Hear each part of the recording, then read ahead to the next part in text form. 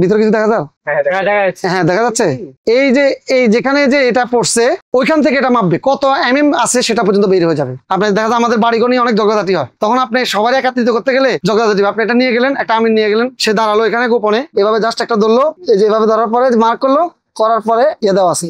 এই দেখেন এটা এগারো metre five point five zero point five point five এটা দূরত্ব রয়েছে।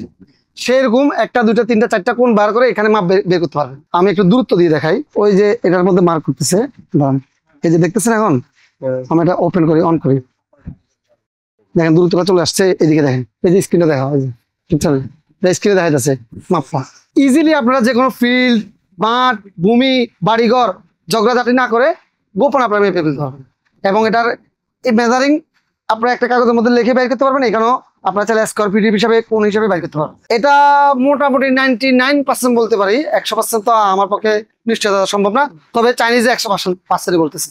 ম্যানুয়াল বুক দেওয়া আছে, এখান থেকে দেখে এটা আপনারা শিখে নিতে পারবেন। এই যে দেখেন, এই যে বটমটা টিন দিলে এটা অন হয়ে যাবে। অন হওয়ার পরে চাইলে মিটার অথবা কিলোমিটার মানে যে মুড আপনার কাজ করতে চান। এই জিনিসটা দেখতে পাচ্ছেন? এটা কিন্তু আপনার যারা জানেন আমার দোকানটা ইন্টেরিয়র ডিজাইন করেছি টাইলস এর কাজ করতেছি টাইলস এর মেজারিংটা কত হবে? দেখা যায় ফিতা দিয়ে মাপতে হয়। অথবা একটা বিল্ডিং এর দাঁড় করাবো? সেক্ষেত্রে ফিতা দিয়ে মাপতে অনেক সময় লাগে। এটা আপনার জাস্ট এখানে দাঁড়ালেন এই যে অল্প বাজারের মধ্যে দেখেন ওই যে ওইখানে যে এখানে যে এই যে দেখেন এই যে এই যে লেজারটা পড়বে এখানে কত এম এম কত মিটার সেটাও বের হয়ে যাবে। আমি লেজারটা ক্লিক করব দেখেন এসে গেছে।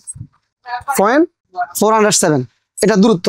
এরপর এটা ইঞ্চি আনতে পারবেন তারপর এটা মিটারে আনতে পারবেন আবার এটা স্কোয়ারে বার করতে পারবেন সব। আবার একটা দিব এদিকে দিব দেখেন এদিকে দিলে এই যে এদিকে দিলাম এদিকে টেসে গেল এদিকে টেসে গেল। তাহলে কটা হলো? দুইটা কোন হলো। আবার এদিকে দিলাম এরকম এক, দুই, তিন, চার, এরকম চারটা কোন বের করে চারটার পরিমাপ বের করতে পারবেন আবার দেখা যায় আপনার বিল্ডিং তৈরি করছেন, এখন মেসেজের সাথে শুধু জগটা হইতেছে। এই বলতেছে এত সাইজ আছে, এই বলতেছে এত সাইজ আছে, আপনি এটা দিয়ে জাস্ট মাপ দিবেন চারটা মেজারিং চলে আসবে।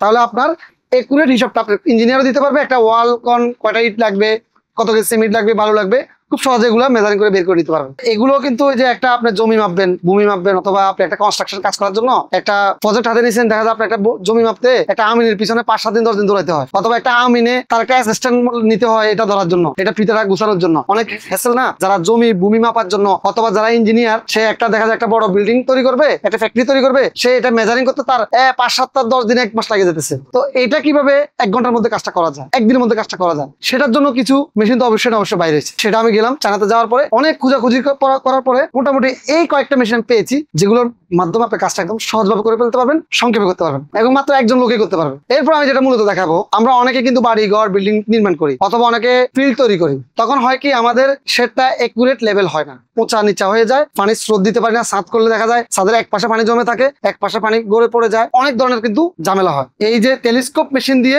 মেজারিং করে বার তৈরি করে দিতে হবে। সেক্ষেত্রে হবে কি, ছাদের যে স্লোপটা এবং যে লেভেলটা এক সমমানের থাকবে। এবং এটা দিয়ে কিন্তু রাস্তা, ব্রিজ কালভার্ট এবং নদীর খাল বলে, খাল, পার এগুলো এগুলো কিন্তু সরকারি কাজে, বেসরকারি কাজে এগুলো দিয়ে কিন্তু জরিপ এবং লেভেল করা হয়। সেটা হচ্ছে লেভেলিং মেশিন এটার সাথে এরকম স্ট্যান্ড থাকবে, তিন ফুটের একটা স্ট্যান্ড থাকবে, একটা পাঁচ মিটারের পনেরো ফিট একটা স্কেল থাকবে। সেটার মাধ্যমে আপনারা জাস্ট এভাবে ধরবেন মেজারিং করবেন দুই কিলোমিটার পর্যন্ত।